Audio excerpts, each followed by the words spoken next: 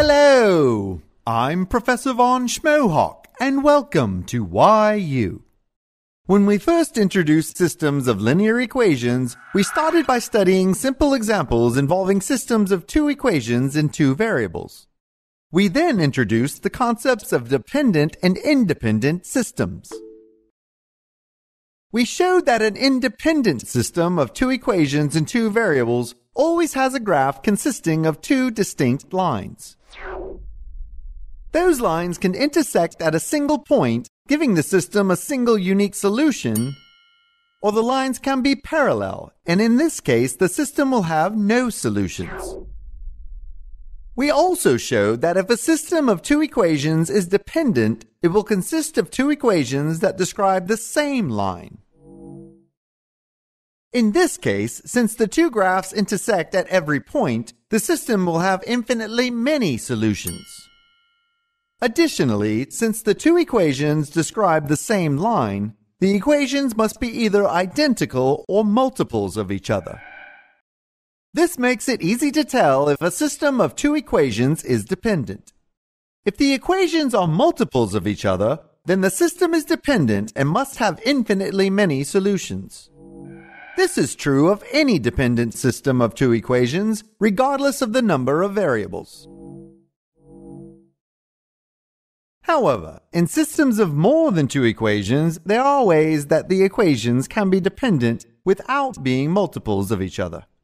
Take, for example, this dependent system of three linear equations in three variables. No equations in this system are multiples of each other, yet they are all still dependent. So what property makes equations dependent if they're not multiples of each other? Mathematically speaking, in a group of equations, a dependent equation is a linear combination of one or more other equations in the group. So what exactly is a linear combination of equations? A linear combination of equations is produced by first multiplying each equation by a constant and then adding the results. For example, this equation is a linear combination of the two equations on the right, since if we multiply the top equation by 3 and the bottom equation by 2, and then add the results,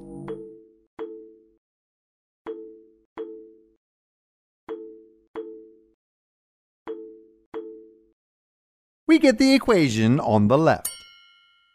Since this equation was produced by multiplying the other equations by constants and then adding the results, it is a linear combination of those two equations. Of course, different linear combinations of those two equations could be created by choosing different multipliers.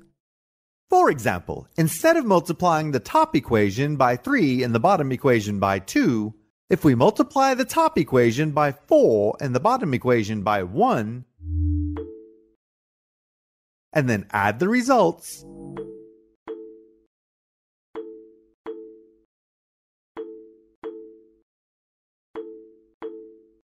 we get a different equation, which is another linear combination of the same two equations. Linear combinations can be made by adding multiples of any number of equations. For instance, we could add a multiple of negative 1 times a third equation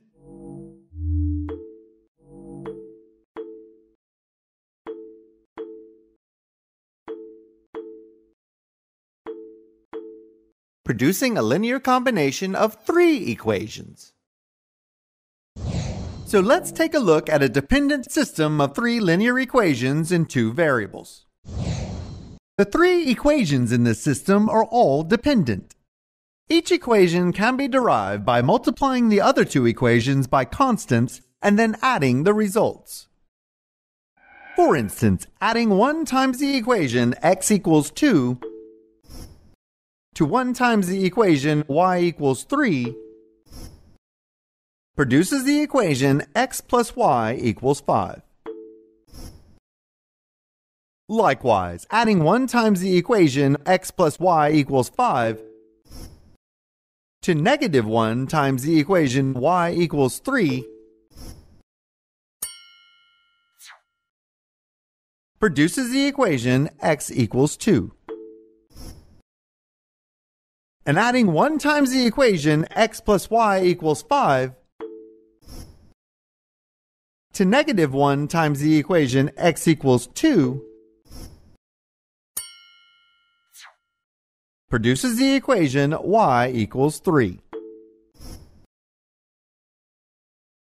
Since each one of these three equations is a linear combination of the other two, all three equations are dependent. Notice that even though this system is dependent, it has a single unique solution corresponding to the common intersection point of the graphs of the three equations. This shows how it is possible for a system with more than two equations to be dependent without necessarily having infinitely many solutions. Let's take a look at a few more examples. As we saw, this system of two equations is dependent with infinitely many solutions. But let's say that this system contained a third equation, whose graph intersects the graph of the other two equations at a single point. This system is still dependent since it contains a group of two dependent equations. But now, instead of an infinite number of solutions, it has a single unique solution, since there is only one point which satisfies all the equations in the system. It is also possible for a dependent system of more than two equations to have no solutions. For example, if the graph of the third equation was parallel and distinct from the graphs of the other equations,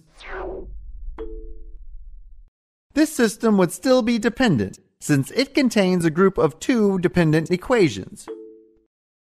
But since no solution can satisfy all the equations in the system, it is also inconsistent, having no solutions. Likewise, dependent systems of more than two equations with three or more variables may or may not have infinitely many solutions.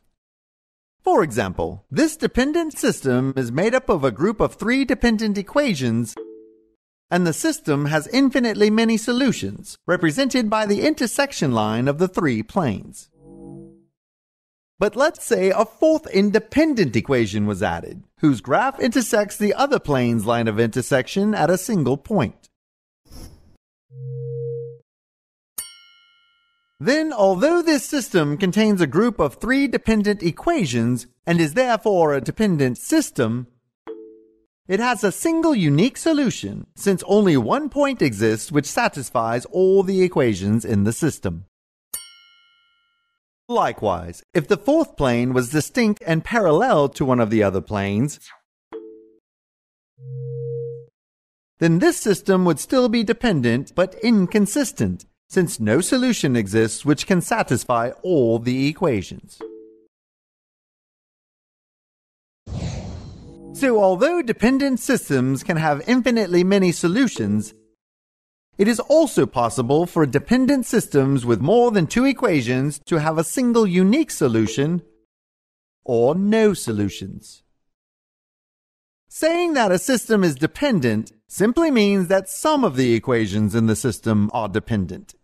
And saying that a system is independent simply means that none of the equations in the system are dependent. So how do we know whether or not a system of equations is dependent? It is usually easy to spot when two equations in the system are multiples of each other. But it is not always easy to tell when equations are linear combinations of two or more other equations. Fortunately, the process of Gauss-Jordan elimination automatically does this work for us. In the next lecture, we will see how this happens.